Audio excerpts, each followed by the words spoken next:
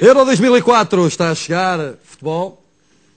Muito bem, estamos todos convidados, 10 milhões portugueses, 10 milhões, não, 9 milhões 999, o Bahia não vai. E eu ponho-me a pensar o que é que seria, o que é que seria de um relato, de um relato de futebol caso houvesse jogos nos Açores.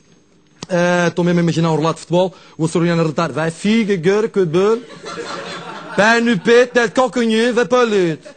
Passa lá, vai central, depois só remete é gueule. Gueule. Isto, isto sendo, isto sendo um português a marcar golo, é óbvio.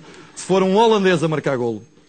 E, pá, na Holanda, tipo, o- o- os jogadores da bola têm nomes, aí de um metro e meio nas costas, vocês já repararam, não tem assim um nome, tipo Van Nistelrooy. Van Nistelrooy tem assim uma data de nome.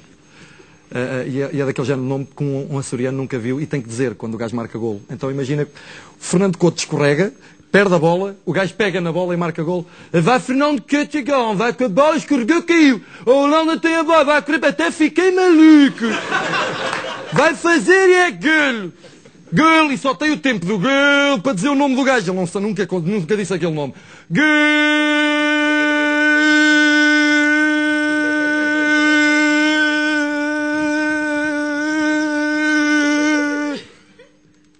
Depois ele tem que dizer qualquer merda, não é?